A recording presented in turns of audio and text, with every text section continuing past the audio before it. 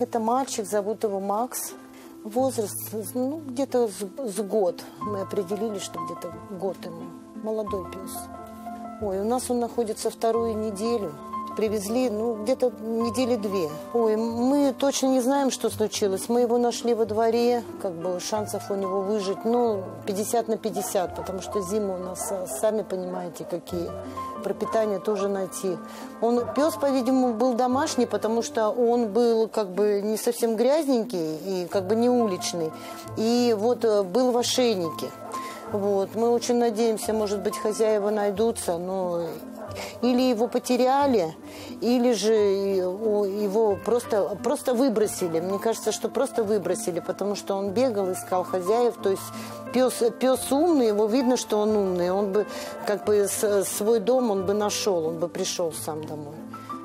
Очень такой вдумчивый пес. Как бы не конфликтный очень, не конфликтный, очень добрый. Ну, абсолютно однозначно, что он как бы к, к людям очень доброжелателен.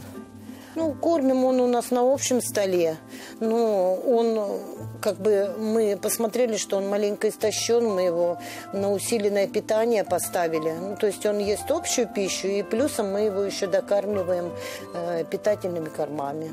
В общую пищу входит, ну, мы варим каши, геркулес варим на мясе, супа варим различные. У нас очень э, богатый рацион.